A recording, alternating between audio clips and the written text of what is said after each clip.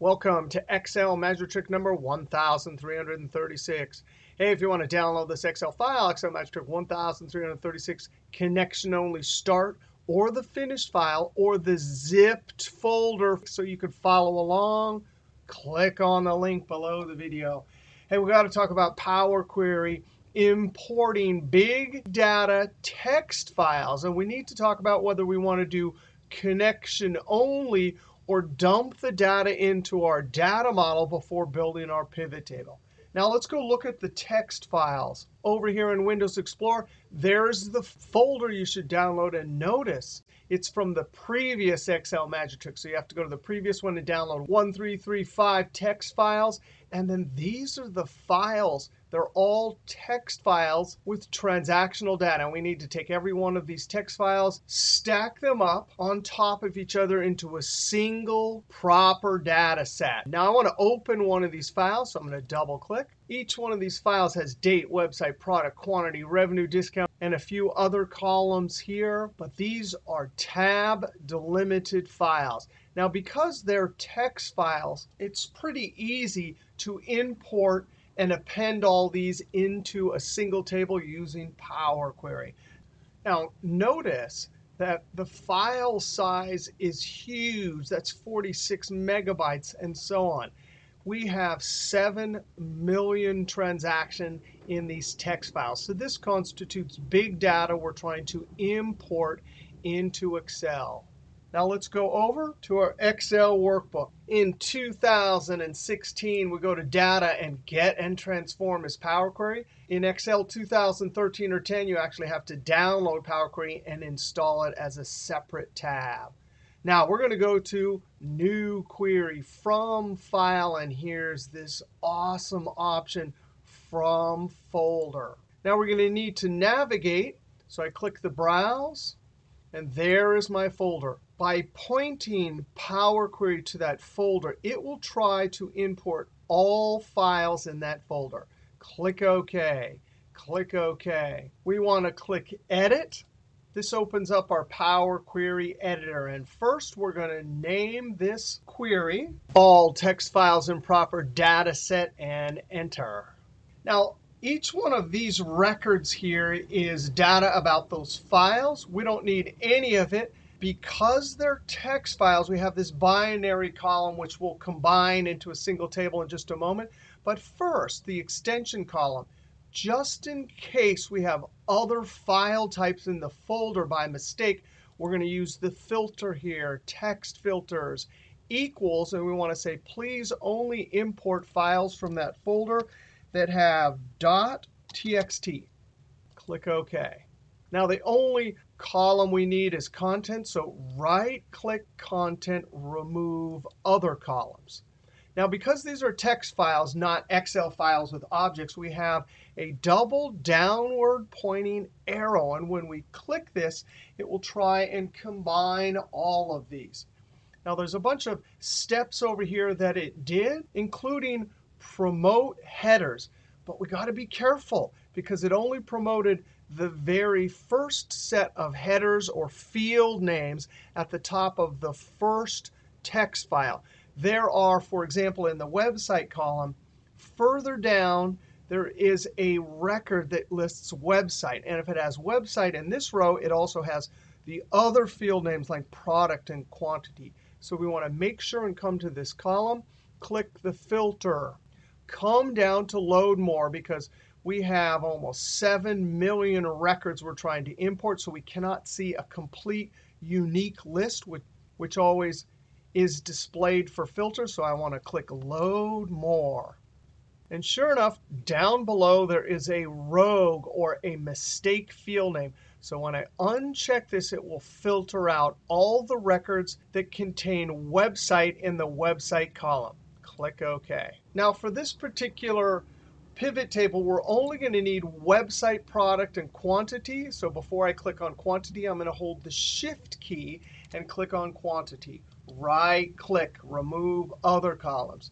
This is important because I don't need all those columns, and this is 7 million records. So why not get rid of them if we're only going to use these in the pivot table? Looks like this got the right data type, text. Text and whole number. these are the little icons that show up at the top when it guessed right. you could also change it by coming up to data type now we're going to close and load. and i'm going to close and load, close and load to i want to say only create a connection this means we can build a pivot table even though the data initially is not stored in this file. i'm going to click load.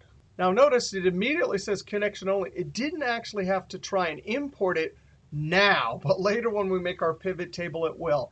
now i'm very importantly going to control s. and now if you notice, the file name is connection only. i want to hit the f twelve key because we're going to create two different workbooks. This one's going to be called, instead of connection only in our save as file name text box, i'm going to call this data model. So now we're going to have two different files. save. now i'm going to go look over in windows explorer. notice we have the same exact files, and there's the file size. now i'm going to come back over here and close the data model, open up connection only. i'm going to click enable content data show queries. we have a connection only query over here. and now we want to see how to build a pivot table from connection only.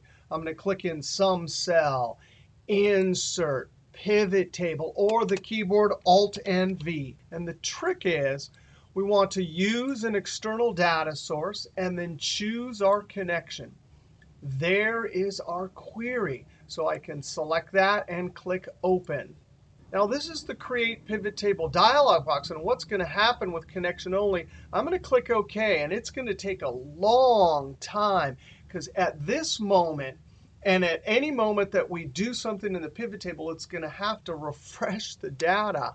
so i'm going to click ok. and it is going to take a long time because this is a big data set you sort of already see the moral of the story. connection only is good when you have small data sets. but when you have a big data set the data model is going to turn out to be a lot faster.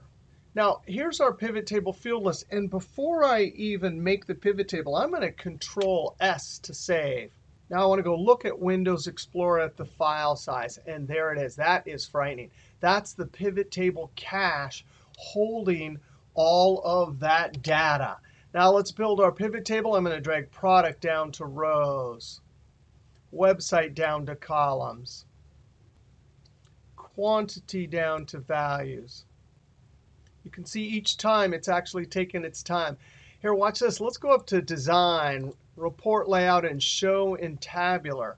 even that's taken a little while right click number formatting i want number use a separator, no decimals, click ok. Wow, even that's taken a long time. there's our finished report. i'm going to control s, go look at windows explorer it's still about the same file size now let's close this and open up our data model file. now remember in this data model file, after we enable and show queries it's connection only. but now i want to dump this into the data model. so i'm going to right click load to. And now we open up our load to, only create a connection add this to the data model and click load. now what's happening here is it's loading into a columnar database, which is a very efficient means of storing big data with a small file size.